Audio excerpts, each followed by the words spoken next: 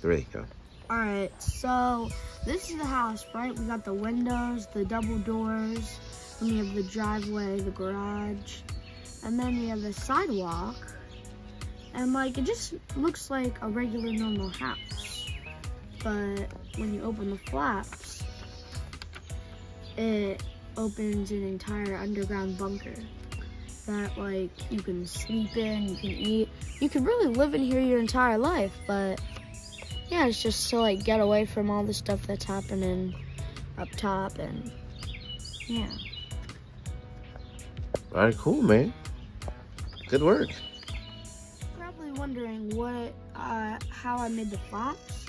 So first I made one, one, one um drawing of the outside, right?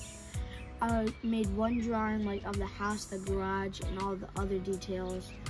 And then I cut it open. I cut it to like here so that when you fold it open, they're, like little flaps, but I don't cut it all the way off. Now over here, I almost did that, but if you cut it all the way off, there won't be any flap. So I only cut it like one finger width away or two.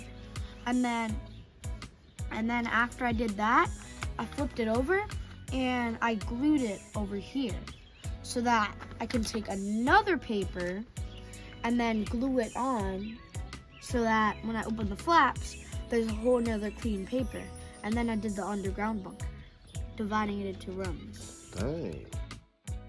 favorite part is the bedroom because it all it has these squiggly lines on the bed frame as like details and a very nice bed and then the drawers with the lamp and then um, a gaming setup with like the PS5 and the keyboard and the monitors. Double monitor setup. But yeah. Looks really cool. And then I also really really really like the um the kitchen. I think the kitchen looks really nice because like of how all the buttons and like where you can see through like the microwave and that's really cool. And then the storage room over here with like an old three three space shelf and like a regular box and a lamp and then an old bed frame. Yeah. Very cool. All right, all right, all right. Good stuff.